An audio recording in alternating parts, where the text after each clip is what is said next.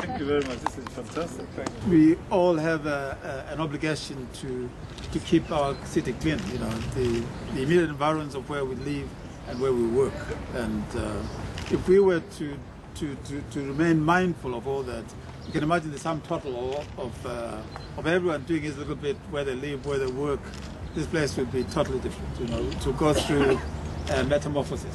Start. This is a very modest beginning, but you have to start someplace, and I think it's it's it's symbolically important.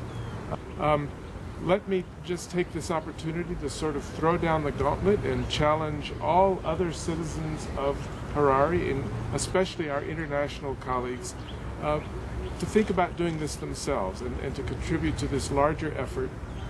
I think that no matter where we're from originally, we do have a responsibility to take care of the place where we live. um, saw these around town, and saw at Miracle Missions because I attend some of their meetings and we do a lot of the cleanups together and everything. So I thought it would be a good idea for the green team to to order one.